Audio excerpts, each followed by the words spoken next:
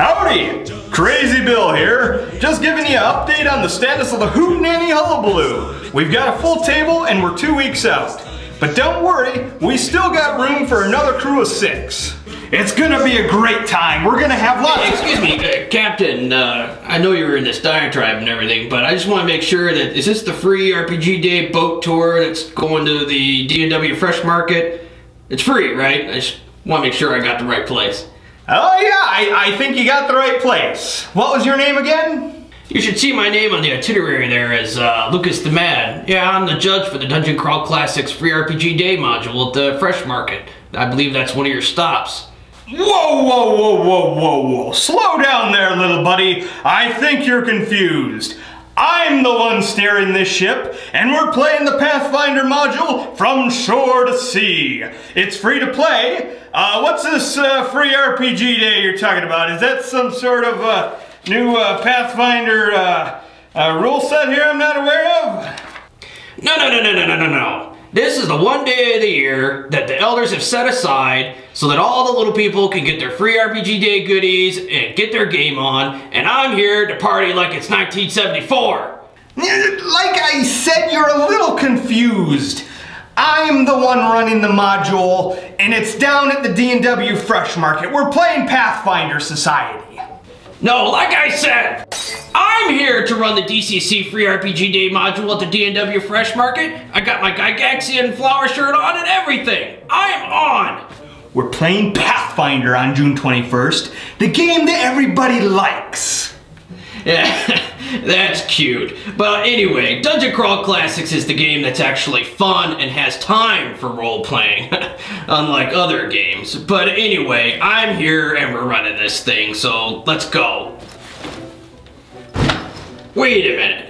Aren't you the guy that made a spectacle and had a mental breakdown in front of God and everybody at the 2012 Pathfinder Society special?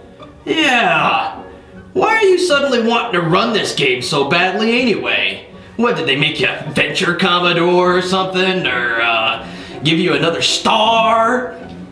Wait, wait, you see, uh, they, the, the thing is, uh, with Gen Con, it, the laces were in! They were in! I don't need a free reroll to do this. Here, take your stinking t-shirt.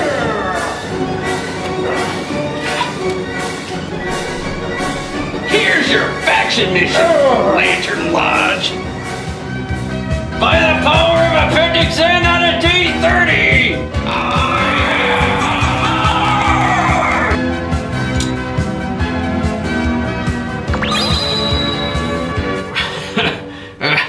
Guess I should have spelled bird.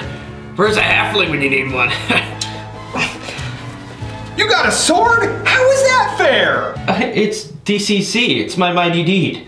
It's at the limit of my imagination, so it's perfectly legal. anyway, time to die! Crazy Bill. That's an EverQuest reference, not DCC. Ah! What are you two doing down there? Knock it off!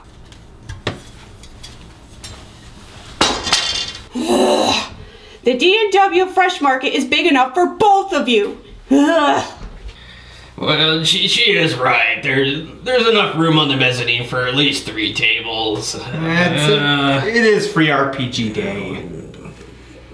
Truce. Um, put her there. I love you, man. I Oh, love all uh, your videos. Oh, I it's, uh, yeah.